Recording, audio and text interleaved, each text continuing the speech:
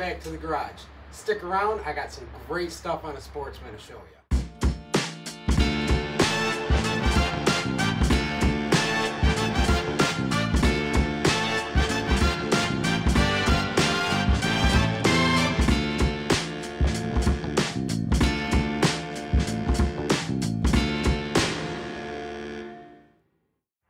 Hey everybody, and welcome back to the channel.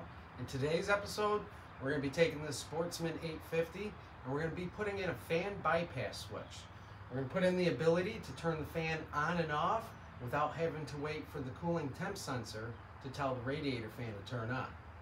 This bypass helps keep your engine cool in hot climates and in muddy climates. So without further ado, let's get into this. Okay, so the first thing you're gonna wanna do is if you have the storage box on the front, remove that. Or if you have the rack, you're gonna wanna remove that. Storage box, pretty easy. A couple lock and ride clips inside. I'm sure everybody knows how to do this on their machine. We're gonna pop this guy off and over. There we go. Next, you're gonna wanna remove your uh, cover here. It's two T25s. Remove those two T25s and slide your cover off. Okay, now that we've got our cover off, we're gonna locate our fuse box, which is right here. We're gonna push the two metal clips, pull your cover off. And this relay right here, this is your fan control relay. All right, so next we're gonna have to remove the uh, fuse box from its bracket and open it up. Okay, so here's our fuse box. And right down here, under this wire harness, there's a tab here. Okay, a little tab. What you're gonna wanna do is push that tab up and then slide the box over. There we go. And it releases the box from the bracket. See, there's that little tab right there. So you wanna push this tab up push it over and see it pushes it out of these little spots here. That's where the tab locks in right there. So once we got that off, now we got to open the box up. Now to open up the box, what I'm gonna do is pull it up. It's got these four tabs on all four corners. Okay. Here, these four tabs. What you're gonna want to do is using a screwdriver or a pick, push on those tabs, and while you're pushing, you're gonna want to push the box down. So, show you how it's done. Okay. So, like I said, just stick a screwdriver in, push on the tabs, and start pushing on the lower portion of the box. See? See that little tab? You stick the screwdriver under it, push it up, and just push on the box like that. Same thing here. Push the tab up. Okay, that side of the box is released. And we're gonna do the same on this side. So it's a little difficult because the wiring kind of gets in the way here, but push, push, and there we go. Here's our lower cover off. Set that aside. Now it actually will move easier because you don't have the headlight wires trapped inside that box. So, and this is what we got now. So now we can access our wiring on the bottom for the fuse, or I'm sorry, for the relays. So basically, how this works is you've got power from the battery coming in, you've got power going out to the fan, then you also have uh, battery power coming in for the switch side, and the ground is controlled by the ECM. So basically what happens is the ECM sends a ground signal here. It grounds out the switch portion of the relay, which then allows it to click over and send battery power to the fan. So all we're gonna do is install a switch and jumper it into the ground control of the relay. So then we can turn the fan on and off with a switch instead of waiting for the computer. So we're gonna have to locate the wiring down here and basically just add a jumper into it. And I'll show you that in a second. okay, so I just want to show everybody how this works. So I got my power probe hooked up. Now your wiring for this is going to be right here. So you're going to have a red and a white. You're gonna have another red and a white here. You're gonna have an orange with a black and the yellow with the red. Or I'm sorry, the red with the yellow. It's a red with a yellow tracer. That red with the yellow tracer, that's your control wire. So if I touch it and I add ground to it,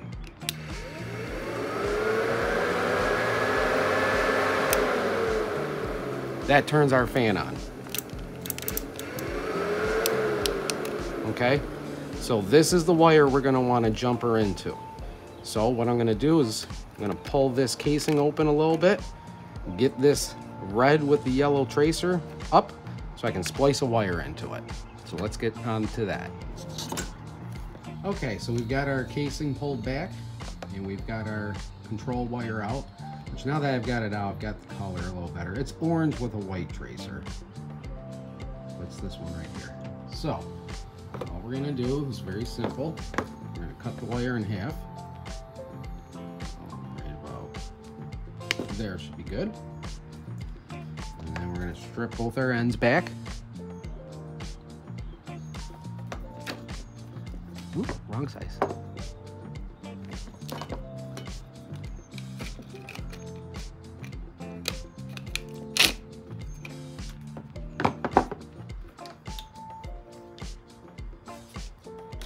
take some of our own stock wire. Twist it onto this end, like so. Okay. We're gonna take a butt connector. Now, I would recommend using the shrink butt connectors because then you can seal them up. But if you don't, if you just have the regular ones, I'll show you how to seal it up. Well, pretty simple, just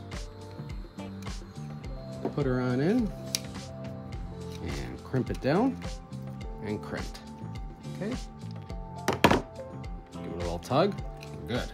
Now take your other end, twist the wire up so you don't get any strays, and just stick it in this side. Let's do this because I don't know where my good pair went. But let's see here. Doobie doobie doop. There we go. Okay. We're good. And we're just going to stick it in this side and crimp it down. Okay. And what I like to do is come up here to the flat portion and give a little doo doo doo. Doo doo. Just make sure we're good. And again, pull, we're good. Now, if these were the heat shrink ones, you would warm it up and they would melt down to the wire and seal it up If you don't have those, take a little bit of RTV or weatherproof caulking or whatever. And we're just gonna fill the hole up here. Put a little dab there. Put some here. Whoa. Okay, and we're gonna push it all in. Get it all in there and that will seal up that wire There we go, just like that. It's all sealed. Okay, we're gonna take electrical tape wrap it up. Wrap it up, nice and nice, just like so. Look at that. Push it all down, nice, nice. RTV will seal it. Okay, and now we can put it back up in here. Same thing. Some tape, because this was wrapped right here. Wrap it back into place so it doesn't move around. Just like so. Okay.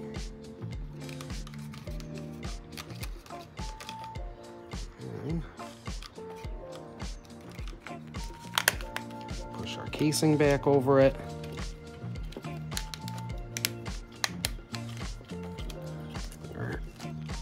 Wire out like so, okay.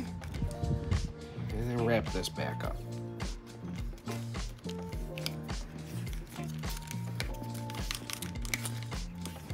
Okay. Bam. Okay, now we can get our box cover And we can put this guy back on. Now, this lock tab goes towards the wire harness. And sure we get our wires tucked back in here nice. And just push. There we go.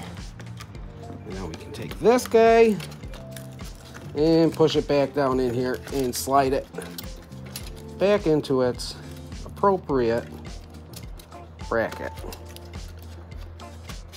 Just gotta find the little, there we go. Push it in the holes and push down and slide it over. And it's locked back in. Okay, there's our control wire. Now we can take and put our cover back on. Like so. All right. So now let's get this hooked up to a switch. Okay, so here we are. Now the customer already tried doing this himself. Uh, so he's already put the switch in. It's not really what I would have done. Um, I would have put a switch up here on the cowl to make it easier and more accessible than here. Because I feel like here, it might get knocked, but I mean, that's the switch he put in. So we're just gonna use his switch. So wherever you wanna put your switch, I recommend up here, but just a toggle switch. And what you're gonna do is you're gonna run uh, one side of the switch for that wire.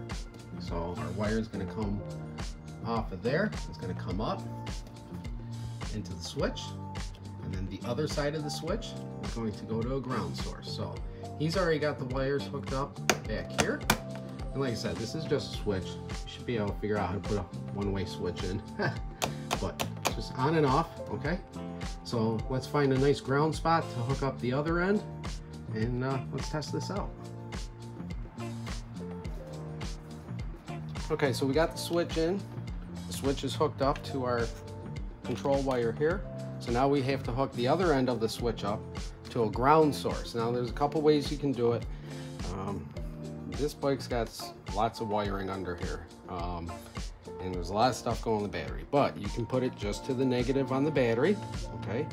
Or you can ground it out to anything on the chassis. And since our wire is up here, this nut, this is what holds your steering stem bushing in. This would be a good ground spot. So let's pop this off. It's uh, 13 mil. And we're gonna find an eyelet that fits over it. Yeah, that one will work good. Okay, so let's see. Right about there.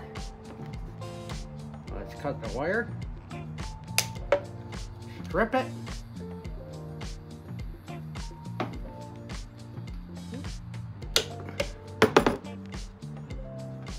Twist it back and add our eyelet. Oops, twist it some more. All right, add our eyelet. Same thing, you can use the uh, shrink wrap ends. If you got one of these, just a regular end, you just seal it up with some RTV, caulk, whatever you got. Seal that up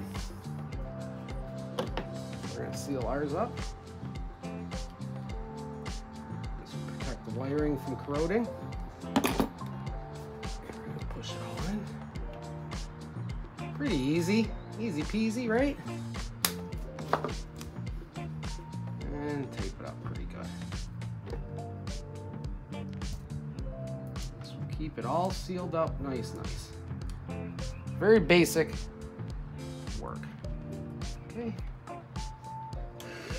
Oh, it's already working. Turn the switch off. All right, so let's put that guy on there like that. Put our nut back on. And tighten her down. Just like that. And now we hit our switch.